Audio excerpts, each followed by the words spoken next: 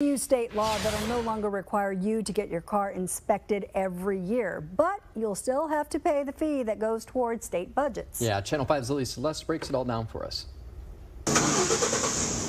This is a normal day at Pueblo Tire in McAllen. To get my my uh, my state inspection, which I've done since I've had all my cars. Maria Villalpando is one of several people who stopped for her annual state inspection today. She tells us she's never minded the extra step on her to-do list. It's not an annoyance for me. They check everything, you know, uh, the brakes, lights, and all that, and that's for my safety, and not only my safety, other people's safety when I'm driving out on the highway. This is the last year she and every single driver in Texas will need to get it done. Last year, lawmakers revised state law to end mandated inspections. Villalpando tells us that worries her. You're going to have a lot of cars out there. They're not going to be driving in the same conditions. She says she'd rather drivers spend the time and fee to check their cars. Seven dollars is nothing, you know? At least to me, I'd pay more for a hamburger.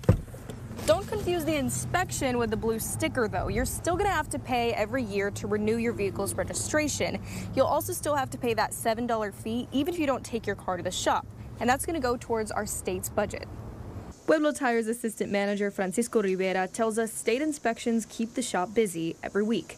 I would say maybe about maybe 40, 50. We asked him how often he notices something wrong with cars during state mandated inspections. You know, most of the times, new vehicles, no, but you know, there's cars that are 10 years old or more, and there's you know there's a lot of things going on with those cars and you know we pinpoint them and we let customers know. Just because you don't have to doesn't mean you're not allowed to get an inspection. Villalpando tells us she doesn't plan on stopping.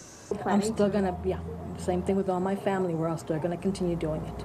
Yes. every every year. Every year. If your car is still due for an inspection this year you still have to do it.